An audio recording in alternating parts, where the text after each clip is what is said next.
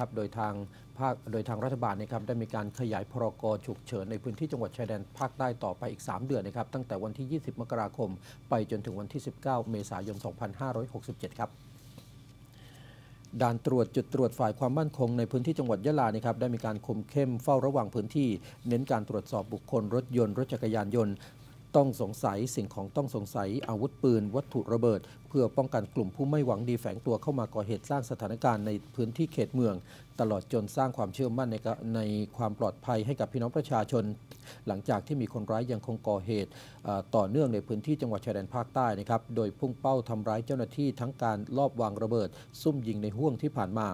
ประกอบกับในวันนี้นะครับเป็นวันแรกที่ทางคณะรัฐมนตรี ได้ขยายระยะเวลาการประกาศสถานการณ์ฉุกเฉินที่มีความร้ายแรง ในเขตท้องที่จังหวัดนราธิวาสยกเว้นอำเภอยิ่งโงอำเภอสุไหงโกลกอำเภอแว้ง และอำเภอสุขีริน จังหวัดปัตตานีอำเภอยะริงปนาเรมาโยไม้แก่นทุ่งยางแดงกระเพาะและอำเภอแม่ลานและจังหวัดยะลานะครับอำเภอเบตงอำเภอรามันกาบัง และอำเภอกรงปีนังออกไปอีก 3 เดือน ตั้งแต่วันที่ 20 มกราคม ไปจนถึงวันที่ 19 เมษายน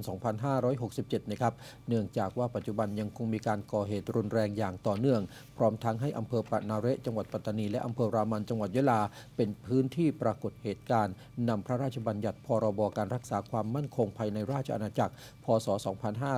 2551 มาบังคับใช้มีผลบังคับใช้ตั้งแต่วันที่ 20 มกราคม ไปจนถึงวันที่ 30 กันยายน 2567 เนื่องจากสถานการณ์ดีขึ้น โดยเฉพาะสถิติการก่อเหตุและการสูญเสียมีแนวโน้มลดลงอย่างต่อเนื่องครับ